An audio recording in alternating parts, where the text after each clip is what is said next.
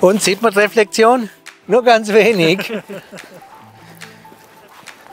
Ich bin der Gerold Brenner, bin Designer. Wir sind heute im Schaufensterclub, wo ich mit Pascal Wiedemann und Beatrice Wörsch den Club Radikal gegründet habe, um alten Kleidern neues Leben einzuhauchen. Das neu kreierte Teil ist ein Schlupfhemd, das mit neuen Proportionen arbeitet, äh, überweit ist und ich bin rundum sichtbar, 360 Grad. Das ist mir natürlich auch sehr wichtig.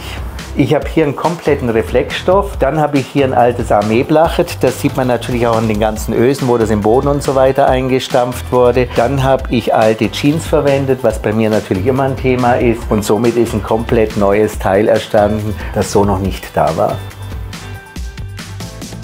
Ja, jetzt sieht man, wie sichtbar ich bei Nacht bin, dass man nicht nur im Einerlei der Sichtbarkeit von manchen Sportswehrmarken sein muss, sondern dass Sichtbarkeit ein ganz, ganz großes Modethema sein kann.